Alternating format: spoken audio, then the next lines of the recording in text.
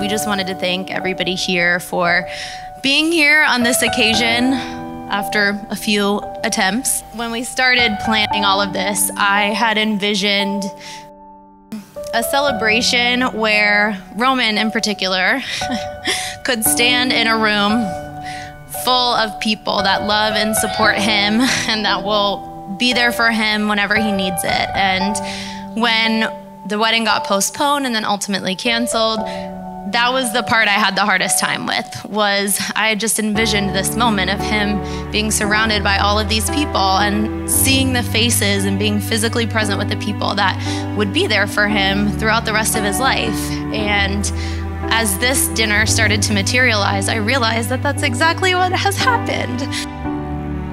So I just want to say thank you so much to all of you because even before this last year, but especially in this last year, all of you are the people that have stayed so close to us, have been by our side, who have shown up for us and for Roman.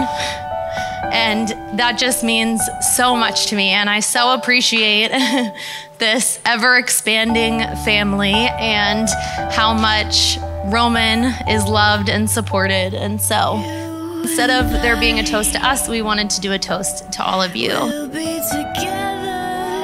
two, three. We're having a baby! We're having a baby!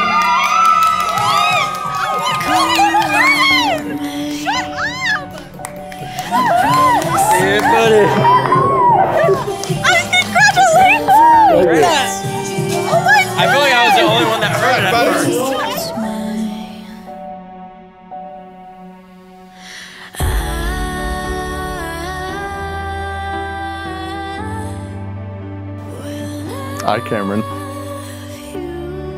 vow to be your companion, through good, bad, and indifferent times, to work toward and allow space for growth in ourselves and our relationship.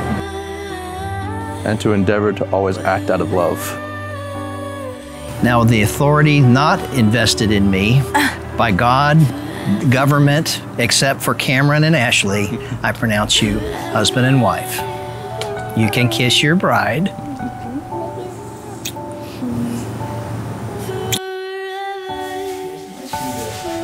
Spend some time out of your day. Are you, are you really? That's gonna make me cry. That's very cool.